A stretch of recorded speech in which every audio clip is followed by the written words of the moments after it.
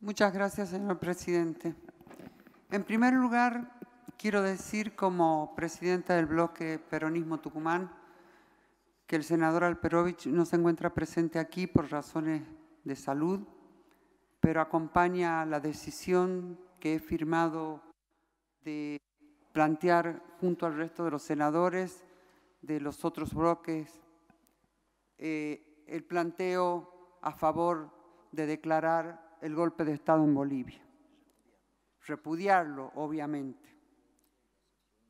En segundo lugar, quiero decirles algunas cuestiones que no se han planteado aquí, porque tienen que ver con la historia de Bolivia y de América Latina, tienen que ver con la economía de Bolivia y de América Latina.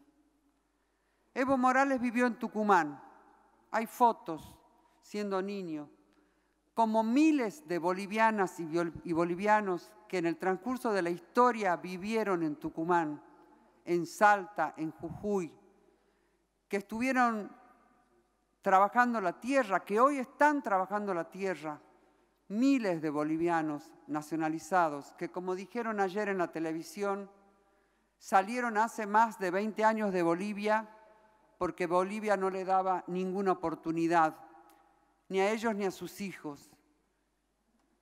Viven en condiciones, diría, difíciles, menos difíciles en la Argentina que en Bolivia, y trabajan la tierra de lunes a lunes sin descanso y están en condiciones de comprarse y mandar recursos a sus hermanos o a sus familias.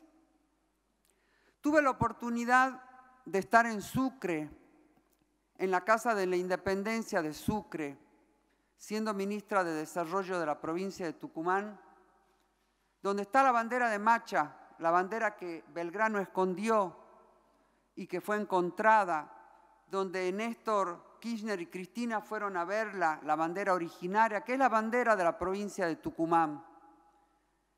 Cuando juraba Evo Morales, y juraban todos los gobernadores en conjunto con Evo Morales, en el segundo mandato de Evo Morales, porque Sucre es la capital de Bolivia, donde está la Corte Suprema.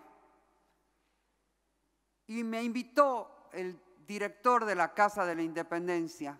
¿Saben qué hizo el gobernador de Santa Cruz de la Sierra que tenía que jurar conjuntamente con el resto de gobernadores, le dio la espalda mientras hablaba, el presidente que tenía que asumir, que era Evo Morales, y gritaba escandalosamente mientras el presidente hablaba.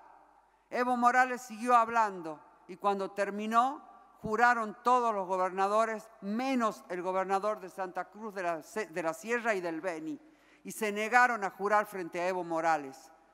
Quiere decir que acá no es una cuestión de fraude, es una cuestión de golpe contra las políticas de Evo Morales y de otros miles de bolivianos que vienen trabajando por una patria grande, por una patria grande latinoamericana. La verdad que nosotros fuimos una patria común. Así nacimos, nacimos como una sola nación y el poder extranjero nos balcanizó, nos dividió en más de 20 repúblicas y si quiero decir con más saña, en 20 o más republiquetas, que tenemos que actuar para poder subsistir mientras nos quitan los recursos naturales como le quitaron a Bolivia hasta el acceso al mar no es una cuestión menor. Nosotros tuvimos aquí la avenida Canning en la ciudad de Buenos Aires, que hoy se llama Escalabrini Ortiz. ¿Quién era Canning? La que nos dividió de la República de la Banda Oriental del Uruguay. Ese era Canning. Por suerte logramos ponerle otro nombre a las calles porque los nombres dicen mucho y la historia dicen mucho. Y conocí Potosí, y conocí Sucre. Y Potosí no le queda nada más que los pobres que viven en Potosí. Y en Sucre vivían a dos mil metros de diferencia de altura los ricos que sacaban los recursos de los llamados los pechos de Potosí, porque esa es la forma que tienen las minas de Potosí. Allí estuve porque me encanta conocer la historia latinoamericana. Y para eso también hay que leer. Hay que leer lo que hicieron con Bolivia porque este no es el primer golpe contra un presidente boliviano. Este es el golpe 184 en la historia de Bolivia. ¿Qué tiene Bolivia? El nombre de Bolívar, el nombre del libertador. Eso tiene Bolivia.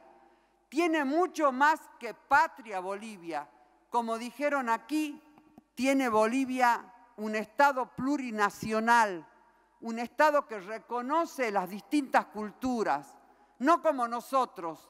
La verdad que me da mucha pena, no porque yo no sea católica, no porque yo no sea evangelista, no porque yo sea judía, sino porque me da mucha pena que se use, se utilice determinados mecanismos para decir que se pone el pie sobre América Latina y sobre Bolivia con el manejo de la Biblia y del sable. El Papa dijo hace cuatro años cuando llegó a Bolivia, delante de Evo Morales, vengo a pedirles perdón por haber venido con la Biblia y el sable. Y resulta que ahora voltearon a un presidente con la Biblia y, y con el sable. Porque la policía boliviana utilizó el argumento de la quita de algunos favores que tenían de hacer certificados y las cosas que conocemos que utiliza la policía para alzarse contra Evo Morales. El golpe venía en ciernes y la OEA será muy importante, pero nosotros le debemos a la OEA que no haya actuado con el TIAR. La OEA no nos sirve. La OEA no es la representación de los pueblos latinoamericanos. La OEA es la representación de Estados Unidos para mí. Esa es mi concepción.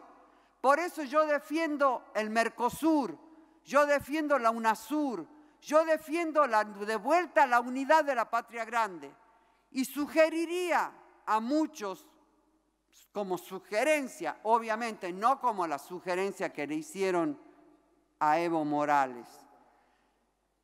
Ese presidente fue representante de su pueblo, tenía la cara de su pueblo, tenía la opinión de su pueblo, tenía la mente, el cuerpo de su pueblo. Lo vi jugar al fútbol en Famayá, bajándose del avión. Lo vi ser parte de la gente, porque eso era Evo, es Evo.